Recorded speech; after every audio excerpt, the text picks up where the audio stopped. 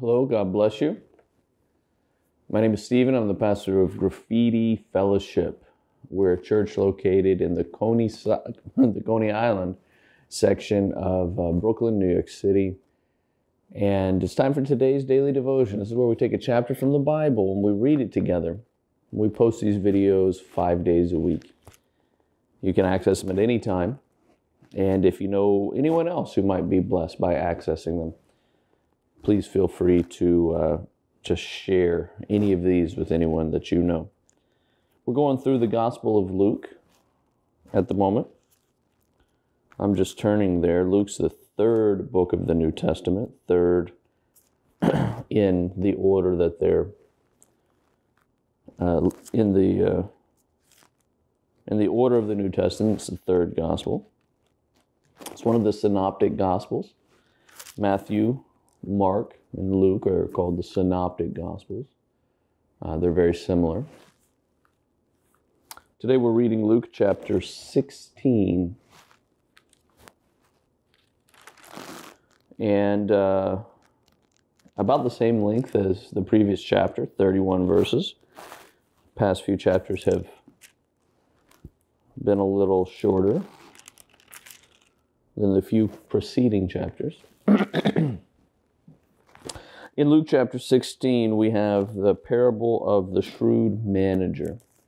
So in chapter 15, we saw three parables about heaven's celebration when somebody comes to the Lord. In Luke 16, we have a parable of the shrewd manager. We have a parable of the rich man and Lazarus. Then those two are our only subsections in this chapter. Let's read Luke chapter 16. It begins this way in verse 1. Jesus told this story to his disciples. There was a certain rich man who had a manager handling his affairs, and one day a report came that the manager was wasting his employer's money. So the employer called him in and said, What's this I hear about you? Get your report in order because you're going to get fired. The manager thought to himself, Now what? My boss has fired me. I don't have the strength to dig ditches, and I'm too proud to beg. I know. I know how uh, I'm sure I'll have plenty of friends who'll give me a home when I'm fired. So he invited each person who owed money to his employer to come and discuss the situation. He asked the first one, How much money do you owe him? And the man replied, I owe him 800 gallons of olive oil. And so the manager told him, Take the bill and quickly change it to 400 gallons. How much do you owe my employer? He asked the next man. I owe him a thousand bushels of wheat, was the reply. Here, the manager said, Take the bill and change it to 800 bushels. The rich man had to admire the dishonest rascal for being so shrewd, and it's true that the children of this world are more shrewd in dealing with the world around them than are the children of the light. Here's the lesson use your worldly resources to benefit others and make friends. Then, when your earthly possessions are gone, they will welcome you into an eternal house. If you're faithful in little things, you'll be faithful in the large ones. But if you are dishonest in little things, you won't be honest with greater responsibilities. And if you are untrustworthy about worldly wealth, who will trust you with the true riches of heaven? And if you're not faithful with other people's things, why should you be trusted with things of your own? No one can serve two masters, for you'll hate one and love the other. You'll be devoted to one and despise the other. You cannot serve both God and money. The Pharisees, who dearly loved their money, heard all this and scoffed at him. And then he said to them, You like to appear righteous in public but God knows your hearts. What this world honors is detestable in the sight of God. Until John the Baptist, the law of Moses and the message of the prophets were your guides, but now the good news of the kingdom of God is preached, and everyone is eager to get in. But that doesn't mean that the law has lost its force. It's easier for heaven and earth to disappear than the smallest point of God's law to be overturned. For example, a man who divorces his wife and marries someone else commits adultery. And anyone who marries a woman divorced from her husband commits adultery. Jesus said, There was a certain rich man who was splendidly clothed in purple and fine linen, and who lived each day in luxury. At his gate lay a poor man named Lazarus, who was covered with sores. And as Lazarus lay there longing for scraps from the rich man's table, the dogs would come and lick his open sores. Finally, the poor man died and was carried by the angels to be with Abraham. The rich man also died and was buried, and his soul went to the place of the dead. There, in torment, he saw Abraham in the far distance with Lazarus at his side. The rich man shouted, Father Abraham, have some pity. Send Lazarus over here to dip the tip of his finger in water and cool my tongue. I'm in anguish in these flames.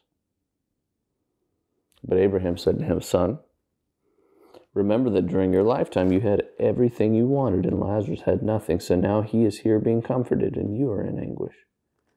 And besides, there's a great chasm separating us. No one can cross over to you from here, and no one can cross over to us from there. Then the rich man said, Please, Father Abraham, at least send him to my father's home, for I have five brothers, and I want him to warn them so they don't end up in this place of torment. But Abraham said, Moses and the prophets have warned them. Your brothers can read what they wrote. The rich man replied, No, Father Abraham, if someone is sent to them from the dead, then they will repent from their sins and turn to God. But Abraham said, If they won't listen to Moses and the prophets, they won't listen even if someone rises from the dead. That's the end of Luke chapter 16.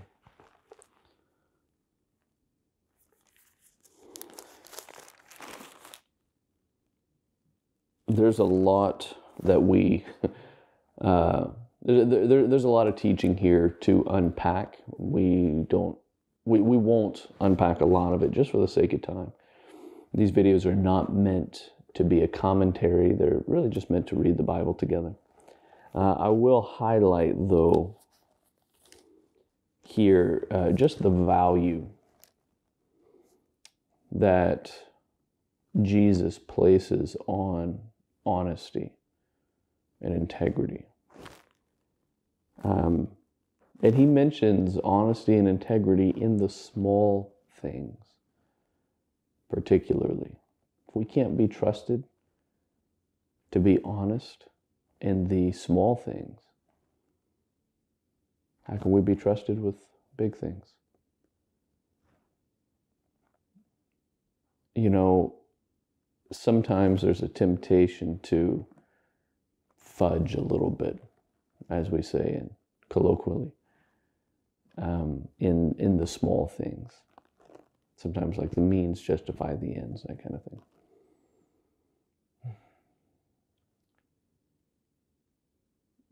But I don't think anything. I think what Jesus is saying here is, um, you know, nothing is really worth selling our integrity over. Um, I'm thinking of an interaction I had with someone uh, in the past week who uh, we met at a certain place.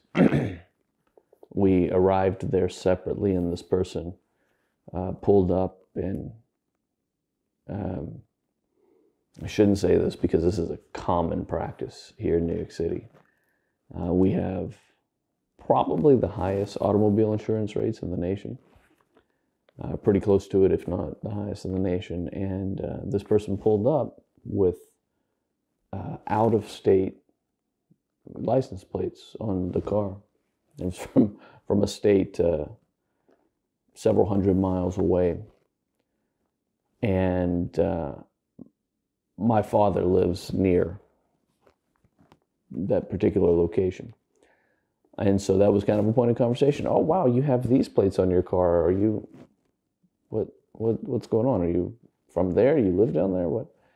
Uh, and the person said, No, uh, I'm just trying to avoid. I'm trying to save money on my insurance. And uh, while that's a common practice, it is illegal. And um, the reason we were meeting is because we had some business to do. And I thought, hmm, I'm not sure this is the kind of person that I want to do this business with because if they can't be honest in this small thing, like, you know, you are you going to sell your soul over $50 a month in car insurance or whatever it is?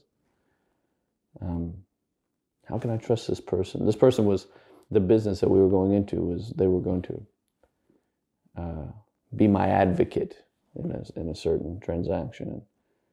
I thought, wow, I'm just not sure this is the kind of person I want to lay my trust on. Is there being unfaithful in the small things? Can I can I trust this person with something bigger? I think that's Jesus' message here. Uh, I digress. Um, sorry to get off on a little bit of a tangent. Thanks for being here for uh, Luke chapter 16. Hope it's blessed you. Hope it's challenged you to be faithful in the small things. I hope you join us again next time for Luke chapter 17. God bless you.